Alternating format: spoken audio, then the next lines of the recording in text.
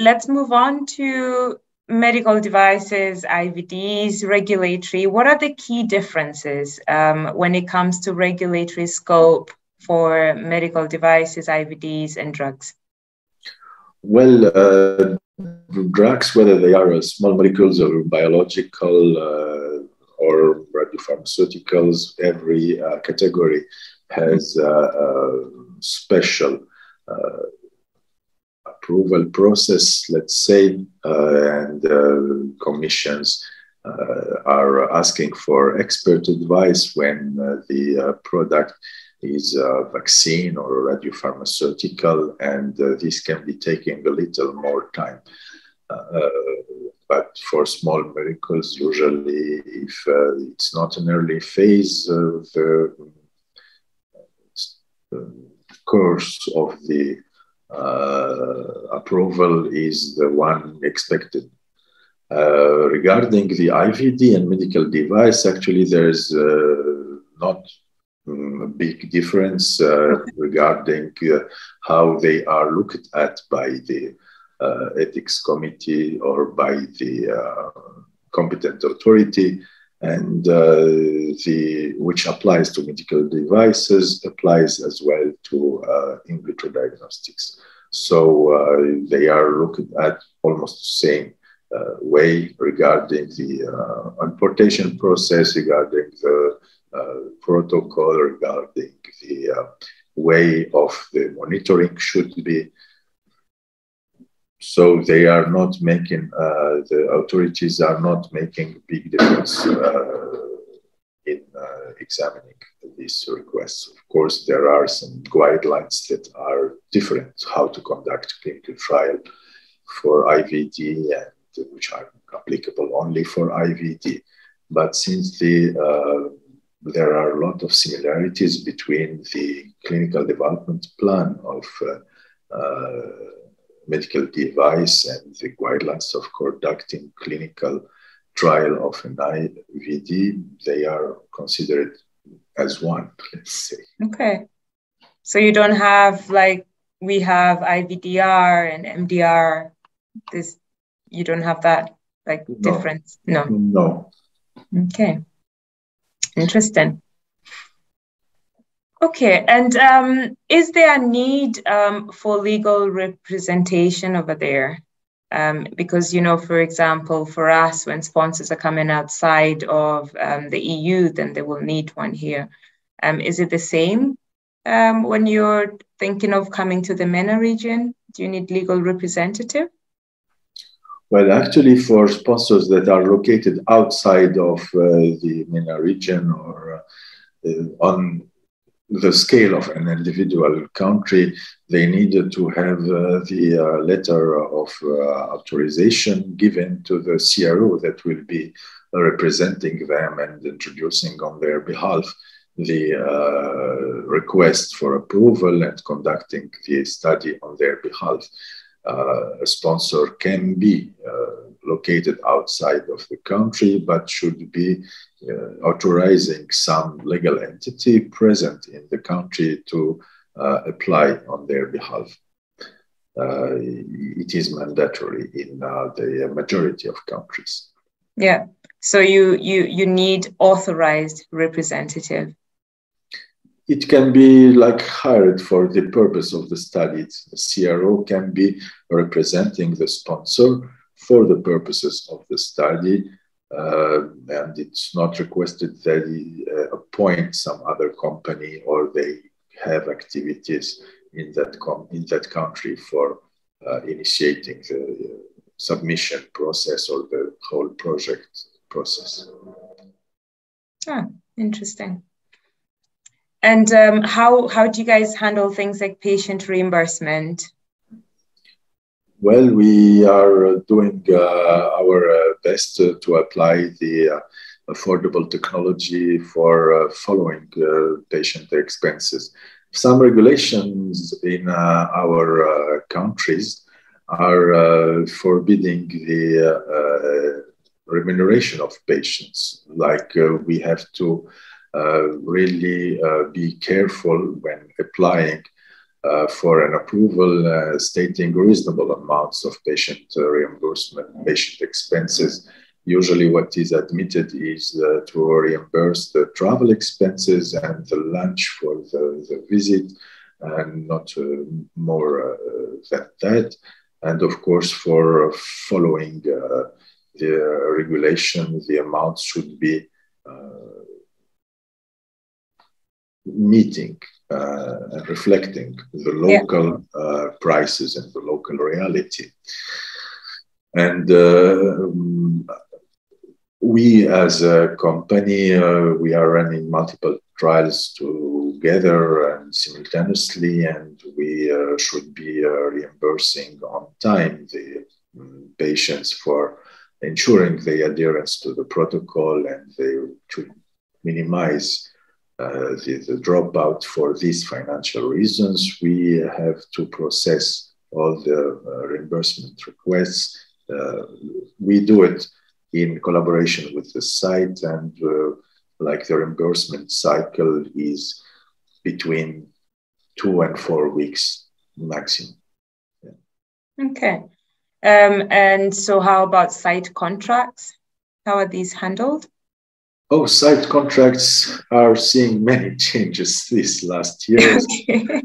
and one, when we began activity, site contract had nine pages.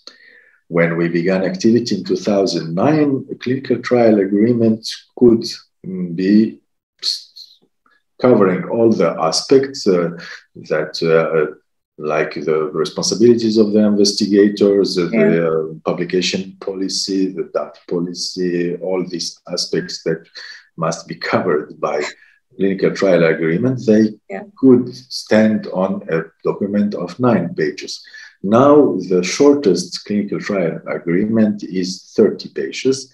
So, uh, like legislation is uh, evolving, uh, industry is evolving, requests of the sponsors are uh, evolving. So this is reflected in, in the this number of uh, pages. Regarding negotiation, usually it is uh, like our uh, startup and regulatory associates are uh, uh, entering in contact with the site and proposing the protocol uh, assessing with the medical monitor how difficult it is, uh, uh, speaking with the doctors, having some orientation. Then we see how much the sponsor is uh, budgeting for uh, these activities mentioned in the protocol. How are the fair market values in the country and uh, making something respectable coming out from this uh, consultation and uh, putting it uh, on, on, paper. This process can be lasting one week when everybody is very happy and understands and see and of course it's question of availability as well uh, but it can be lasting more than one month in, in some complicated situations, let's say. What key factors should sponsors thinking about the MENA region for their clinical trials know about? Well, there are uh, many factors depending on the uh, indication, depending okay. on the therapeutic uh, area, depending on the targets to be achieved. Uh, like, first is that there are in some indications the pool of patient, uh, naive patients here in uh, MENA regions uh, regarding many therapeutic areas. There is a potential which is untapped, and the sponsors in San Diego, California, they don't know about it, or they are not at all uh, aware of the possibility of local companies and local uh, health uh, workers, meaning investigators, possibility for bringing them solutions uh, tailored to, to, to their needs. And uh, as well as you mentioned earlier, uh, compared to European countries, uh, when time to market is very important, the timelines are shorter in the yeah. MENA uh, region than other regions.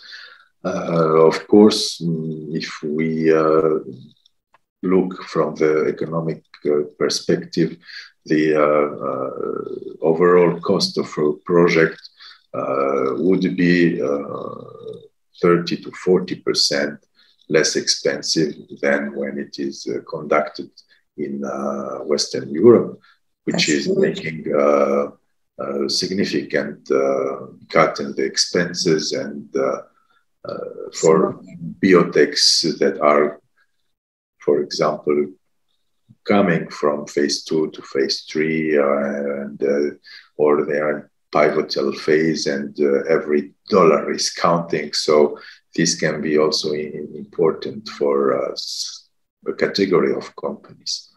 Um, I know you mentioned earlier that um, medical devices and IVDs are treated the same or mm-hmm. similar, right? Yes. Um, so specifically about medical devices in the MENA region, are they treated the same as in Europe or US? Well, uh, look at that uh, in the same uh, manner. So, uh, but the review process as uh, for clinical trials is, uh, I think, uh, much uh, more uh, easy, uh, like manufacturer of uh, medical device in the US or in Europe now, they have the obligation of conducting the post marketing surveillance studies and giving the updated safety updates uh, from studies that are uh, must be occurring on the, uh, the field. Mm-hmm. North Africa, for example, uh, the uh, this obligation still not uh, in force. They are the authorities are asking only for a safety update that can be coming from literature review or from uh, like small observations or, uh, or, case compilation. And it's not the same uh, level of requirements as in the US or, the, or in Europe. But yeah. for clinical uh, trials, uh, the uh, difference of how it is uh, seen in Europe and how it is uh, seen in uh, North Africa is minimal and actually we don't have specific regulations for uh, clinical trials in medical devices like it is uh, uh, looked at as a medical device, but the process of approval is the same, having the clinical development program uh, plan uh, seen by ethics committees and then approved by the regulatory authorities. Uh, the only consideration is the fees are less for clinical medical devices, depending on the class of the medical device, uh, but the review process is actually the same. Okay. So you have the same classification, low risk, plus uh, until high yes. risk. Yeah. Yes, the, the European classification is for. Yeah, it's the same. And the low risk, um, do they need to go through the same regulatory approval process, or can manufacturers do their own declaration for class one, for example? Well, everything uh, must be going to the uh, review of the uh, administration. So they it, declarations are not receivable. Should be going through the uh, any plan should be going through the uh, administrative approval process. Interesting. And um, how is the patient recruitment over there? How likely are patients uh, to participate in a trial? Well, patient recruitment is a multifactorial uh, concept. Uh, many factors are influencing uh, this, and uh, the advantage in the MENA region is that there is a, a special relationship between the health giver and the patient, mm-hmm. like it is from cultural uh, reasons, almost a paternalistic relationship. So, uh, what the doctor is saying, the patients would be uh, adhering to that and uh, carefully following the indications given by the doctor, which is, we, we don't see a very high uh, dropout rates. Like retention rates in our studies are really uh, higher than the uh, medium of uh, other uh, countries. We observe that in the metrics uh, of the studies, multinational studies we participate in, and our sites are ensuring high patient retention for the reason I uh, already explained it, and as well maybe for uh, the fact that the standard of care in some chronic uh, pathologies is not the same as it is in Europe, and the participation in trials is uh, bringing to the patient and his family solutions that they cannot be affording otherwise. Yeah. So, uh, so these are the factors that uh, are influencing this. Yeah. Hmm. And um, what would you say would be the therapeutic areas that are most common to find a good patient population? Well, uh, in our countries, we are very welcoming people, so I would say all the, the, all the indications. Yeah, but uh, uh, we uh, can be objectively uh, saying that in uh, uh, all which is related to cardiovascular health, cardiology, and other types of studies involving the circulatory system as well. Uh, the uh, rare diseases um, uh, in neurology, in pediatric diseases as well. Um, we are seeing an interest that is uh, now raising regarding the uh, immuno-oncology. So uh, now many sponsors are asking for that. Mm. Um, quality can be found and maintained with many sites in, in many uh, specialities. So uh, we can be really finding good sites and good investigators in almost every uh, therapeutic area. Okay. And um, last question I have today is on technology. I know we've not had the best connection today, but you're not also based in the MENA, you're in Serbia. So um, let's talk about, or are you? I don't know. Where, where are you today? No, now today, today, today I'm in Serbia. Yeah, I am yeah. in Serbia and talking to you in Serbia. But uh, you know, in the most advanced uh, uh, countries, uh, internet providers can be having their days down, let's say. So we, but usually the infrastructure is yeah. uh, comparable uh, in North Africa as well. If this is your question, like yeah. infrastructure regarding technology uh, is advanced and uh, like optic fiber for uh, high speed internet is uh, available and hospitals are interconnected. Uh, their databases can be, of course, after uh, certain requests this should be arranged no so the sponsor based in us for example can have multiple sites in the MENA region and you can still receive access to your data and stuff like that so there's no technology constraints that someone should look out for in the MENA region?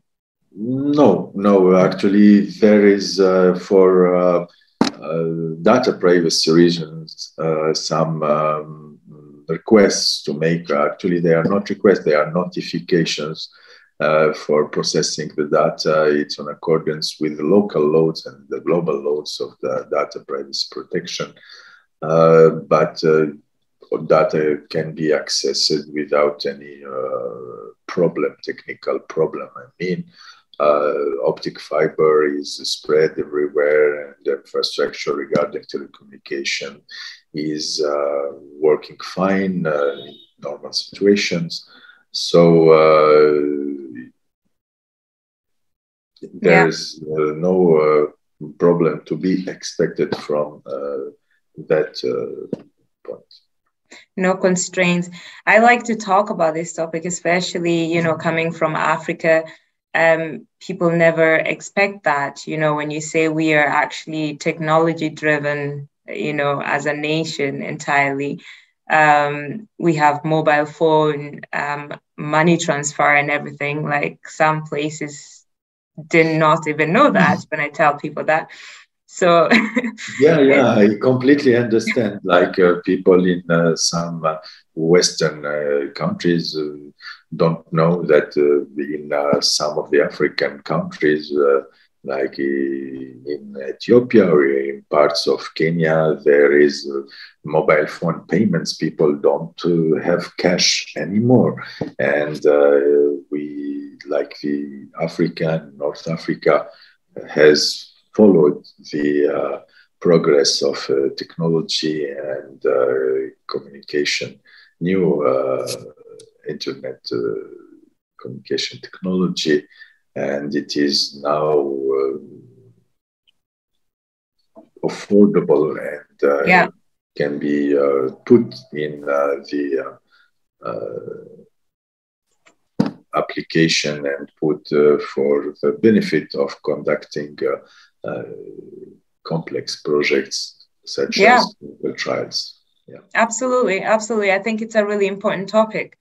I mean, with um, mobile phone money transfer, Africa is pandemic ready. I mean, we didn't use cash for a very long time um, because technology wise um, the nation's quite it's quite ahead you know so yeah that's why i brought it up again because i feel i feel like it's quite an important topic especially in clinical research you know you have several databases multi trials you have sites located everywhere and sometimes people are thinking okay what about the communication are we going to be able to communicate with each other how is the transfer of documents, data, and stuff like that.